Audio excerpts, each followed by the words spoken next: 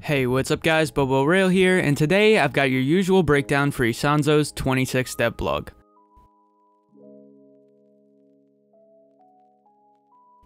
So today's blog is all about the barracks, which is basically just a fancy way of saying the game's progression and cosmetic systems. So if you've played Tannenberg or Verdun, you know that the way you unlocked more guns slash loadouts for each class was by spending skill points, which were really just arbitrary markers given to you for playing the game. You could get any preceding loadout for your class by spending one skill point, and quite frankly, the system was flawed in a lot of ways. Primarily because they were so easy to get, and because of that, I never once in playing Verdun have not had the skill point to get the next level for my class. But now for Isonzo's side of things. We have some major improvements to the system, so you can now view all your classes and unlocks for both equipment and cosmetics, in one much more user-friendly UI.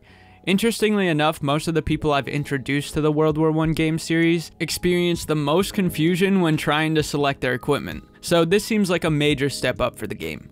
But now let's take a look at the actual unlock system. Each preceding weapon will be unlocked through class specific challenges that will double as the quote unquote tutorial for each class. Basically, they'll make you do what the class is supposed to do in order to unlock the next levels of equipment, weapons, and cosmetics. This seems to be a pretty innovative way to push for some more team-oriented gameplay, and honestly, it sounds like a pretty great way to spice up the replayability. They provide an example here that I'll quote directly.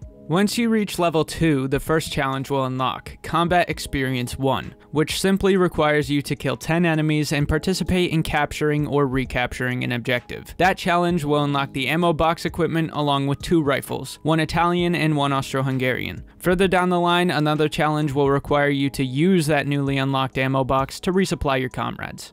So these challenges will give you things for both sides, and you can keep gaining experience and unlocks for both teams regardless which one you're playing as in-game. Another listed challenge is a later challenge unlocks grenades as secondary weapons, which leads to the next challenge where you must make use of those grenades to achieve Grenadier 1, which calls for you to kill 20 enemies with grenades and 20 enemies with a bayonet. And one final detail to touch on here is that the players who reach level 20 will receive the late war uniforms, which feels very fitting to me, pun intended. Anyways, that's all I've got for you guys today. This has been Bobo Rail here from the Cristiferbeast channel, and I'll catch you all in the next one.